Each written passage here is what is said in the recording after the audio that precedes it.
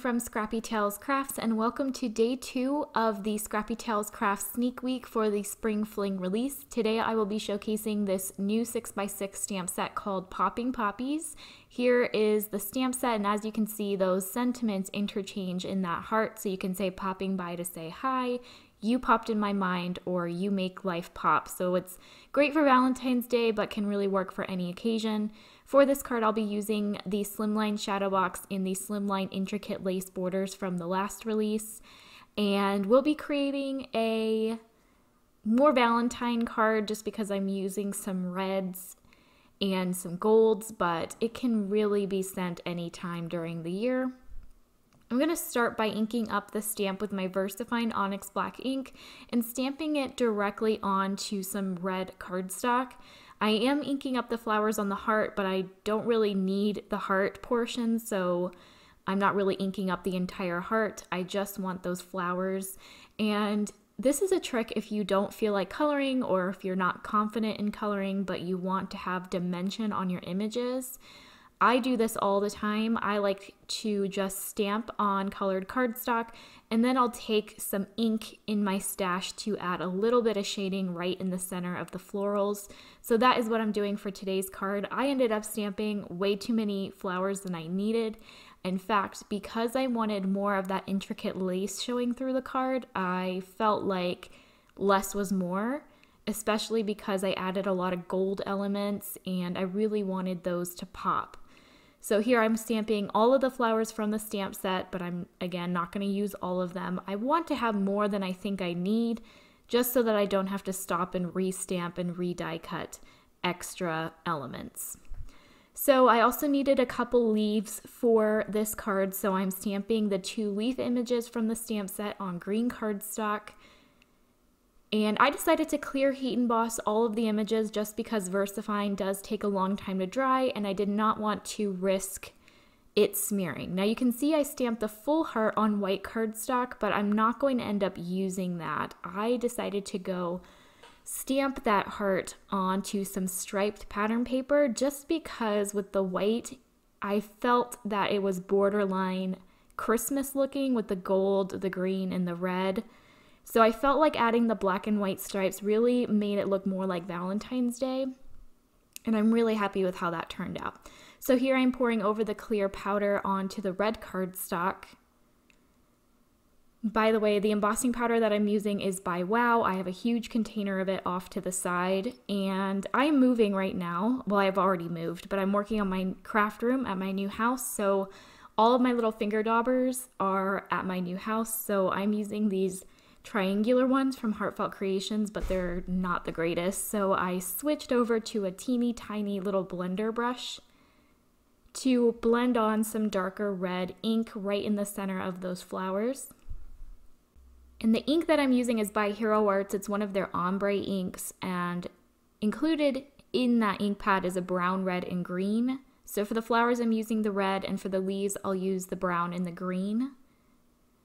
But this is just a really quick way to add coloring to your images and give them a little bit of dimension.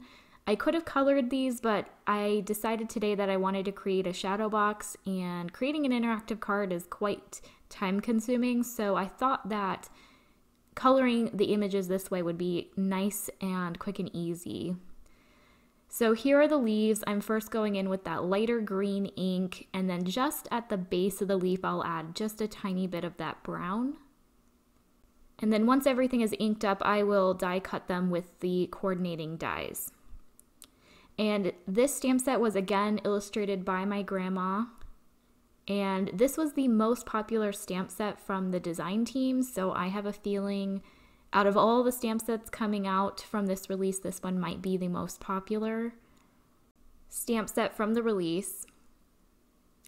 So I'm finishing up the last few leaves and then here I'm going to show you the coordinating die set. And then off camera, I gold heat emboss that heart, including the sentiment that says popping by to say hi. You can really say any sentiment with that popping by to say sentiment. So you can say popping by to say I love you or whatever sentiment you have that can fit inside that heart. I am going to use the white one that I stamped out earlier to back the striped one to make it a little bit more substantial because the pattern paper I used is quite thin. And I love how that black and white stripe really makes the red flowers pop and it definitely makes the card look less Christmassy. So I did choose a wider striped background just so that my sentiment would pop out more. I was a little bit worried if I went with a really small stripe that it would be difficult to read the sentiment. So I'm glad I went with a wider stripe paper. And now I am just gluing down my leaves. I'm gluing them on top of the ones that are stamped onto that black and white heart. And then I think I'm going to pop up the flowers.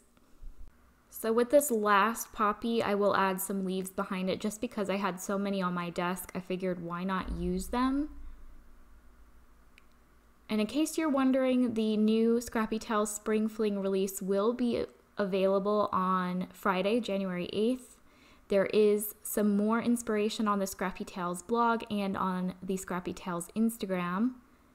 And there will be an Instagram hop on Friday. If you want to participate, there will be prizes along the way. And I will have another reveal video on my channel of the whole collection on Friday, and there will be a giveaway associated with that video. So definitely stay tuned for that. In today's video, I will be showcasing the new pop-up vase die set at the very end because my mom created the pretty much the same card in the pop-up vase and that's what I was inspired by to create this card and I am so excited to showcase that new die. I think you guys are going to love it. It's completely unique and one of a kind. Definitely not something you can find in the industry. So I think they're going to be a hit. But for now, for my shadow box card, I am gluing the gold lace on top of the black shadow layer just using my art glitter glue and I wanted to use these lace pieces as the bridges across my shadow box. So I am going to trim them down to eight inches. I think when you die cut them, they're eight and three quarters because they are meant to go on a slimline flat card, but I also wanted you to be able to use them as bridges for your pop-up cards. So here I am, I trimmed it down to 8 inches and now I'm just scoring each end at half an inch to create the little tab that my tape will go on inside the shadow box to help these stay in place. And I'm just using my scoreboard here. This one needs to be trimmed a little bit more and then I'll go ahead and score that one at the half inch mark. And then I'll take my double-sided tape and add tape to those tabs. And now I'm gonna go ahead and assemble my slimline shadow box.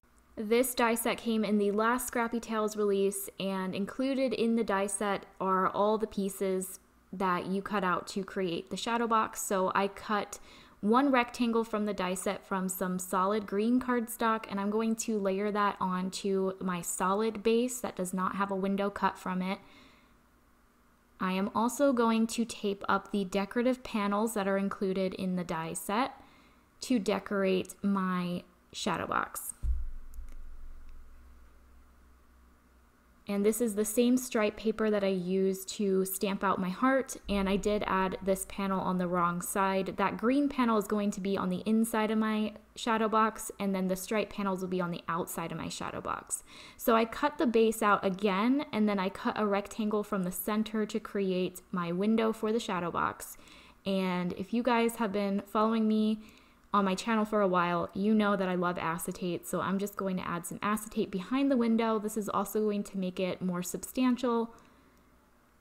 So I'm just attaching it with my art glitter glue. Before I cut it or cut the excess, I do make sure that that glue is nice and dry because it will slide if you start cutting too early. So here I'm just adding a little bit more glue on the corners and then I can go ahead and add my double-sided tape.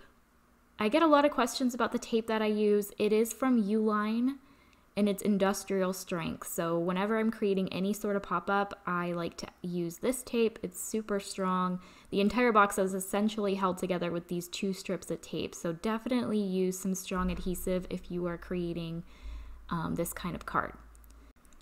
So now I am creasing all of the score lines that the die made for me and then I'll remove my double-sided tape, attach one panel with the tab to the other panel without the tab and then same thing I will attach the remaining two ends together to create that box shape.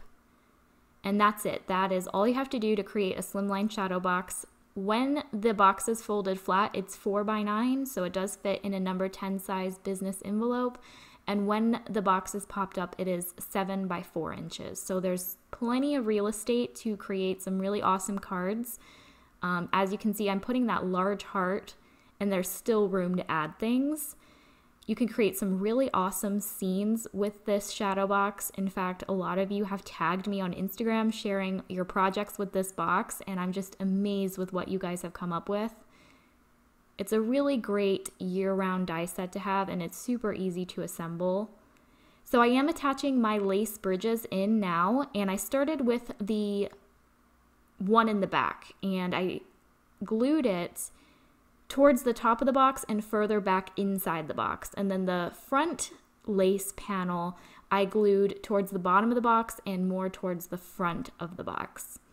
So I typically add two bridges and then I will use the actual card base to add more layers to add, I guess, that sense of depth that you would normally see in a shadow box. So I am now adhering my large heart. I just added glue to the bottom of the heart where it overlaps the lace.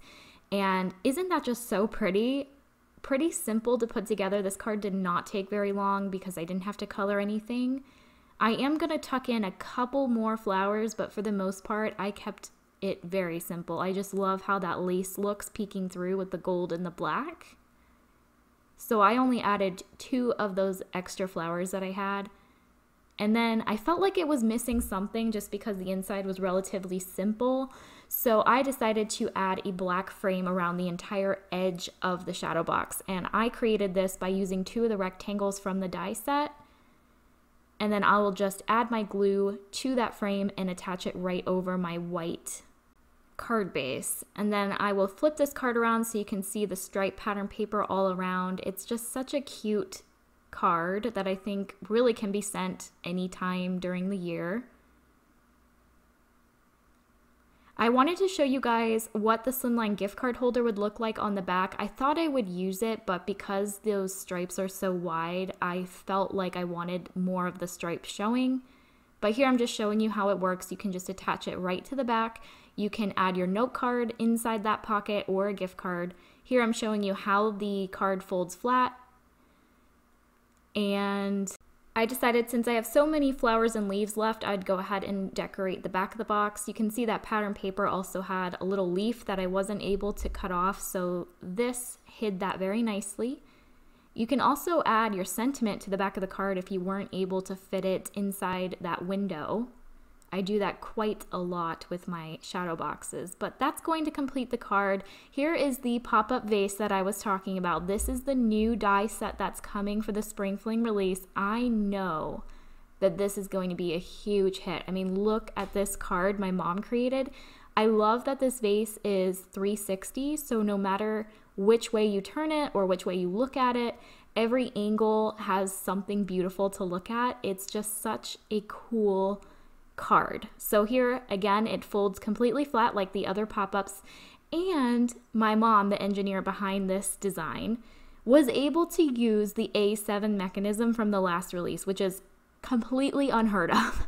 I don't know how she did it, but as you can see, I added the A7 mechanism to the bottom and as soon as your recipient takes it out of the envelope, it completely pops into place. So there will be a tutorial on that vase tomorrow. Let me know what you guys think of it. I am so excited about it. There's also another pop-up coming in this release, so definitely mark your calendars for Friday when the release goes live. So I hope you guys enjoyed today's video.